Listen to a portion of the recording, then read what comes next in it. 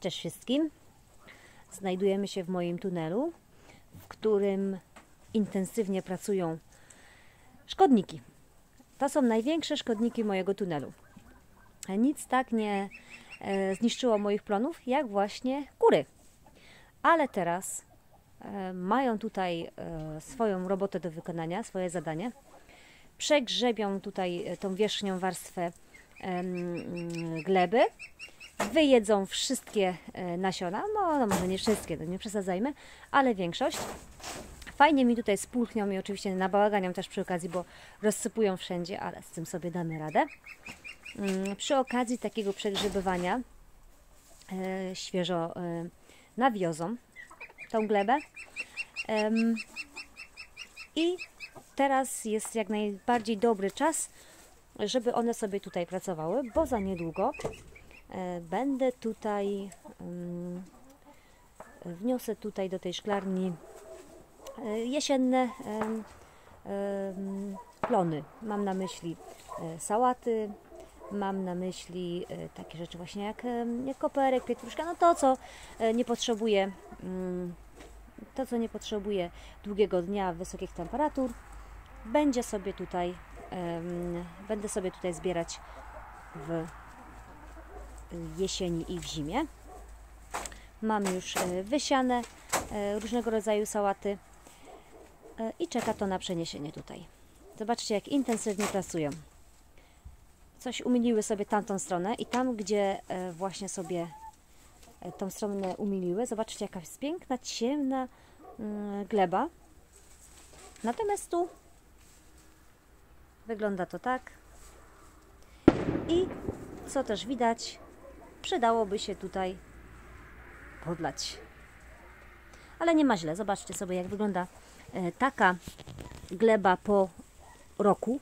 Jak pamiętacie, nie było tutaj na początku nic, tylko, em, tylko ziemia e, gliniasta z takim spadkiem.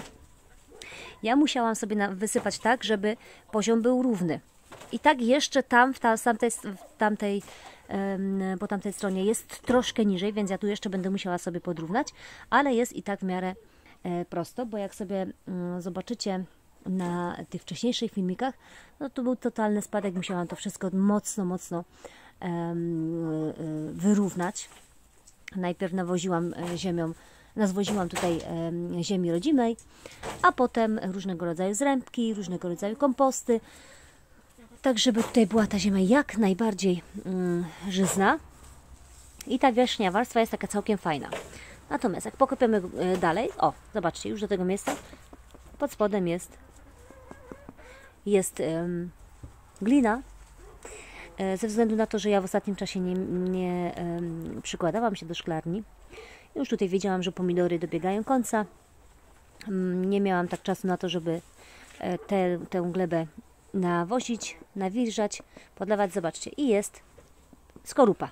Widać, że pod spodem jest typowa glina, ale z wierzchu już coś pomalutku się dzieje. Co prawda, bardzo suche, ale za niedługo popracujemy nad tym. Będziemy tutaj e, mocno podlewać. Kurki będą to wszystko pięknie rozgr- rozgrzebywać i powinno się tutaj e, zrobić fajnie.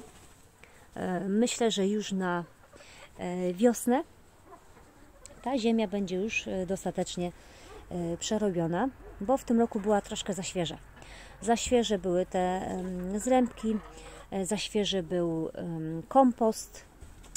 Znaczy kompost był, źle mówię, kompost był dobrze przerobiony, ale wysypywałam tutaj też, wykładałam tutaj obornik kurzy i on był świeży. Oprócz tego też dawałam tutaj dawałam tutaj popiół drzewny ze względu na to, że ja mam ziemię w ogrodzie kwaśną. A wiadomo, że rośliny takiej, za taką ziemię nie przepadają. W związku z czym no to wszystko musiało się tutaj ładnie przerobić. I tak, jeżeli chodzi o plony, jestem bardzo zadowolona, bo zebrałam kilka skrzynek takich 20-kilowych, tych zielonych owoców. E, Jak pamiętacie, część plonów straciłam właśnie przez moje kury, które tutaj wtargnęły nieproszone. E, I zaczęły sobie tutaj robić e, balangę, wieszając się na moich pomidorach. Część z nich wyłamały. ale potem te pomidory pomalutku zaczęły dochodzić do siebie. Część z tych pomidorów nie byłam w stanie na nowo podwiązać, bo po prostu jak już taki konkretny pęd opadł, no to przy próbie podnoszenia wyłamywał się, więc y, to, to, to mm, no, po prostu zrezygnowałam z tego, to, to nie miało w ogóle sensu.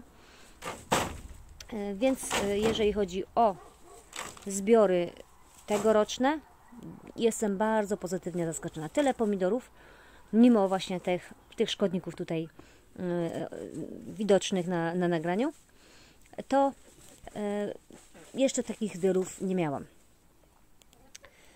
Także tak to u mnie wygląda. Pokażemy tutaj w tej części. Mm, Ta część e, będzie bardziej żyzna, w tym sensie, że jak widzicie jest ta materia ciemniejsza ze względu na to, że e, tutaj mogło się zdarzyć, że po prostu więcej było tej świeżej materii kładzionej, ze względu że, na to, że tu w tym miejscu, ten, po tej stronie e, ta ziemia rodzima była praktycznie tutaj na równi, no to tej materii po prostu szło tu mniej. Zobaczymy sobie tu, gdzie kurki pracują. Co tutaj się dzieje? Zobaczcie, no to tutaj jest tego faktycznie dużo. I nawet y, jak chodzi o tą część jeszcze nie rozgrzebaną, to widać, że ona jest bardziej nawilżona.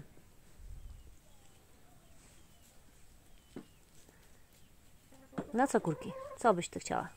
Widzisz jakiegoś robaczka? Hmm? No fajnie to wygląda. Fajnie, tu jest fajna, wilgotna gleba.